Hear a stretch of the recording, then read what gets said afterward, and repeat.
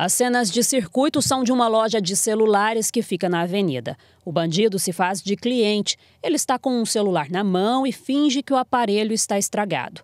Depois vai até a vitrine em que os celulares à venda estavam expostos. Olha e demonstra interesse em comprar. O funcionário abre a vitrine e, depois de muito perguntar sobre os celulares, o ladrão coloca todos no bolso, anuncia o roubo e manda o funcionário da loja se esconder. A principal é, mercadoria hoje que eles procuram aqui é os celulares. Um fácil acesso e pequeno porte para carregar, né? O roubo aconteceu há uma semana e por causa dele, nenhum celular fica exposto na vitrine. Aqui a gente removeu né, a mercadoria, que é, são os celulares da, da vitrine, né?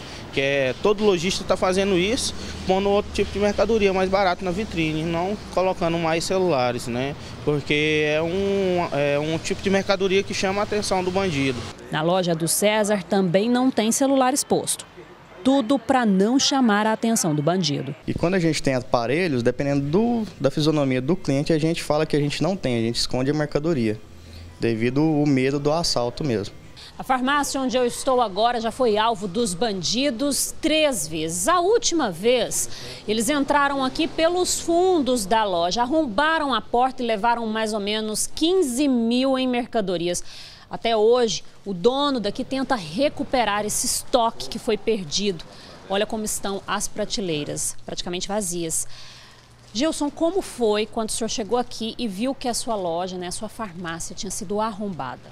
Isso foi em janeiro. Cheguei, trabalhei no domingo até as 22 e na segunda-feira, como normalmente nós abrimos, eu fui até o fundo e aí estava arrombado o portão, a porta dos fundos que dá ali para como se fosse uma cozinha e os computadores que já tinham uns 15 ou 20 anos que eu os tinha, memorizando to, todo o histórico é, do escritório, quatro computadores e medicamentos de perfumaria. Foi. A gente se sente fragilizado, sente né, é, o último do ser humano. Você trabalha a vida inteira, como eu trabalho aqui há 45 anos, e de repente os meliantes vêm e você não tem a quem recorrer. Pior é isso. Este barbeiro também já foi assaltado. Até a compra de uma moto não deu certo, porque ladrões entraram na barbearia e levaram o dinheiro. Além de assaltar a gente, roubou o dinheiro que estava na bolsa da mulher e, e roubou várias pessoas que estavam aqui dentro, crianças, a gente atende mais a criança aqui. E a gente ficou muito constrangido com os celulares de clientes, a gente se sentiu responsável por isso, né?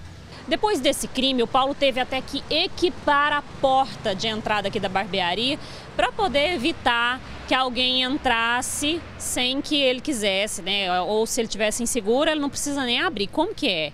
Você, como que você fez aqui? Como que funciona essa porta? Ah, essa porta já tinha uma tramela, só que precisava de acioná-la manualmente. A gente estava trabalhando ali, não podia nem virar as costas para a rua. Chega a pessoa de capacete, você não tem segurança, ela pode entrar e pode ser um ladrão.